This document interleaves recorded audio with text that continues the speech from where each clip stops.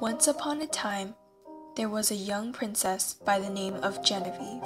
One moon after her birth, the three good fairies, Margaret, Meredith, and Maybelle, That's us, the three good, extremely young and beautiful fairies. Well, at least one of them was young and beautiful.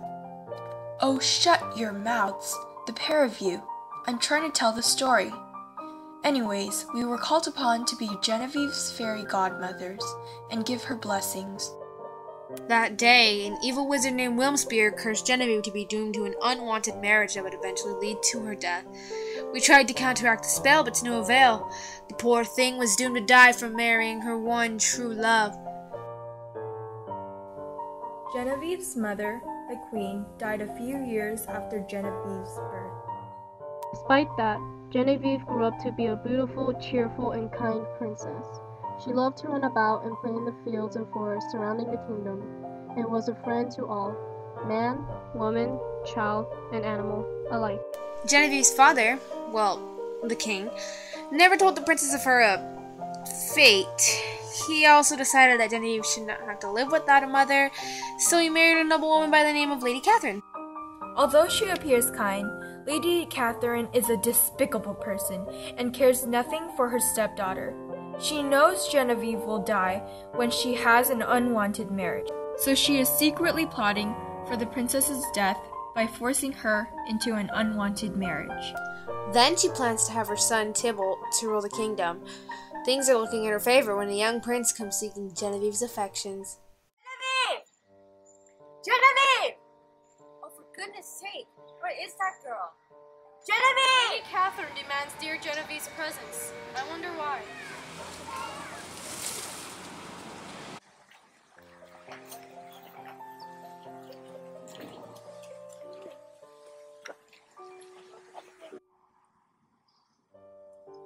Yes? Who is it? Oh, hello, mother. Hello, daughter. We have an important matter we need to discuss. Please sit. Alright, mother. What is it that you need to tell me? What have you been doing to get yourself in such a messy state? My goodness, child, that is certainly not ladylike. But I digress. I have been thinking, and I do believe you have reached the prime time to marry a fine gentleman worthy of being your husband. Well, on my blessed heart, the lady of the house wishes for Genevieve to marry Prince Hans of the Southern Isles. Why, she's almost 14. This is perfect. What a lovely couple you two will make. I have dreamed of this moment from since I ever watched her as a young infant. Oh. And Hans is a fine young man. He is from a wealthy kingdom, too. You'll be rich, my child. Rich! I heard he traveled all the way to England from his palace in Denmark just to ask for your hand in marriage. Hold your tongues, Margaret Mabel Meredith, or I have to send the three of you away. Yes, my lady. What say you to that, Genevieve? Hans is a fine nobleman. I should be rather happy that you would marry him. In fact, it is high time that you are married. When I was your age, I was already a mother to your stepbrother Tybalt, and yet you remain unmarried. It, it's just that I don't even know this fine fellow, and I do not really wish to marry. Perhaps in a year or two. You do not wish to marry Hans? Oh, come off it, child. That's absolute rubbish. That is. You have been blessed with a wealthy, handsome man of royalty who seeks to make you his wife. You'd be a fool to refuse. Genevieve, if you won't marry the prince, then I shall be more than happy to take your place. Nay, Maybelle, I shall be the one to take her place if she declines. Hush, the both of you! Genevieve is obviously going to marry the prince. He is the only man alive to match her wealth, status, and beauty. Anyways, you both are ugly, idiotic baboons who the Prince Hans could easily mistake in any day for flying pigs. I'm not a What's pig. a baboon? You think it takes a Wait, there we go with the baboon and I the agree. Wait, Well, darling, I have invited Hans over for dinner tonight. Get to know him and think over this offer. Well, I will go and meet him tonight, and then we shall see if I wish to marry him. I will try my best to like him, though. For your sake, I really will. But I don't know if I'm ready to marry.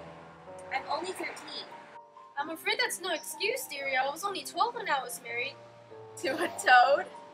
He was a prince enchanted as a toad. You know that just as well as anybody, Margaret. Yes, well, he's still just as ugly as one. Alright. However, I believe after dinner you will be begging me to start planning your and Han's wedding. Adieu for now, Genevieve. And do try to clean up before dinner. You look like you've been rolling around in the brush. Say hello to Hans for me. Do you think you can get me his autograph? There it is, Mabel! That's quite enough! Come along now. Leave the princess alone. Oh dear.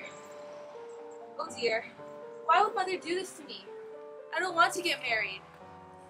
Whatever shall I do?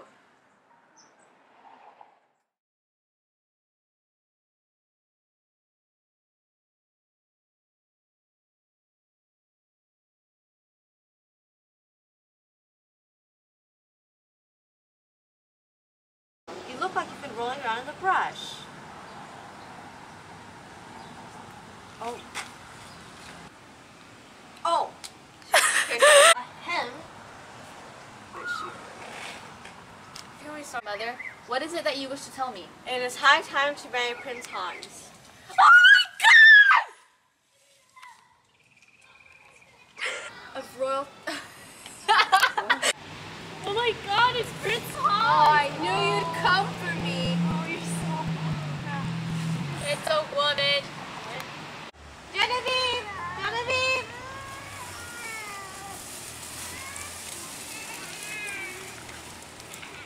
Well, Genevieve, if you do not want to marry the prince, then I shall be more than happy to take his to take your place. Nay, Mabel, I shall be the one to take your place if she. Ah, spiderweb! Okay, I'm not doing this.